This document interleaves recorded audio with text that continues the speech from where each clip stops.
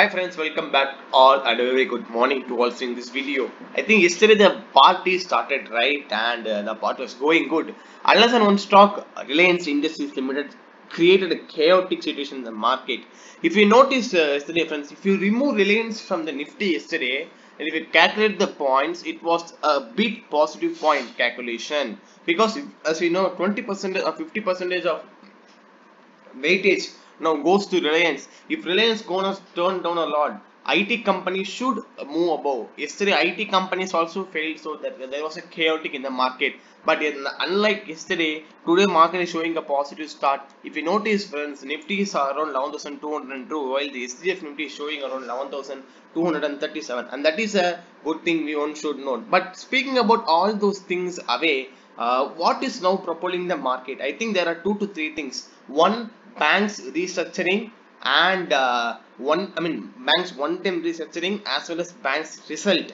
And the second thing is that Reliance Industries result is coming today. I, many people know uh, how the results are going to be because uh, their major businesses O2C business oil to chemical business and that has been flat. Uh, terrain because as people know lockdown there is no uh, consumption of petrochemicals uh, that much level that means the pre-covid levels is different from what we are having right now yes right but I think Reliance Industries can show surprises in the result. I think there was a new uh, news outright that uh, uh, Reliance Industries in talks to acquire Future Group for around 27,000 crores. I think uh, that I mean many news are going in the market outside, but uh, we can't comment on a speculation. Maybe I think in the result they could have. Uh, I believe in this result they could have spoken about this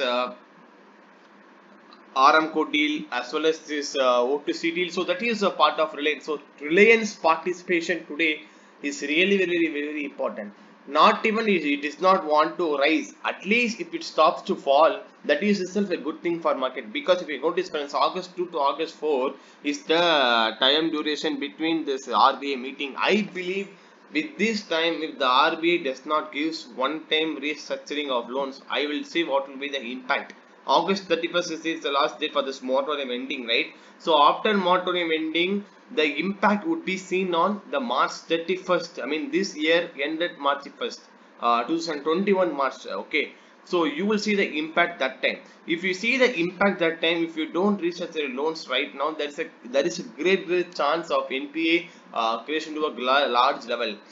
So that is a main, main key concern that one should note. Yesterday the markets are a bit positive, the market was going good, uh, but the going was good, but the market flattened out to a large range and the market fall down a lot. I think yesterday graph pattern formed a very very big bullish, uh, big bearish pattern. I think that I cannot able to uh, avoid that. I mean I want to show to you friends. Okay, so you can see here yesterday the big bullish, uh, sorry friends, bearish pattern that formed yesterday turned on the market upside down. This contribution was majorly by Reliance Industries Limited and that is a key concern that I want to spoke to you. If Reliance Industries does not fall down today, I believe, I believe we could see a rally up to 11,350 today itself. Why I am saying this because yesterday evening Prime Minister had a 3 hours meeting with top officials of banks and NBFCs. Government on the other hand said that government is uh, ready to help uh, as much as possible for the economic generation, credit growth, etc. So if, that is a big positive point for uh, these uh, banks. But put together, friends, uh, uh, Bank Nifty also yesterday performed a bit but better than the, this company. I mean uh, Nifty because yesterday banks are a bit positive, but Reliance uh, created a chaotic situation in the market. Maybe I I am thinking that before any bull rise, I am thinking this is a shakeout of strong hands, shakeout of weak hands from the market so I think that I mean I will not much worry. So I believe if 11,250 is being achieved again, I believe market is still strong and market could go strong up to 11,500, 11,600 because various events have been placed. Prime Minister meeting yesterday, August 2 to August 4, you are having this RBI meeting. Then August 8, you are having this uh, AGR meeting. So these three events should uh, will turn around positive and I mean already one event has turned positive. Another two events are RBI meeting and AGR meeting. That is going to be positive. Then banks could definitely rise. If banks definitely rise, then Nifty could rise up to 11,500 points. And this is about the market update. And the stocks that I would watch out for today would be first Reliance Industries because of the result. And second, second is that the Bharti Airtel for the result reaction. And the third stock I would watch out for today is the Vodafone Idea because uh, uh, Bharti Airtel reaction could also be seen in Vodafone Idea. So Vodafone Idea is also my, one of my pick. And the last share I'm going to watch out for today would be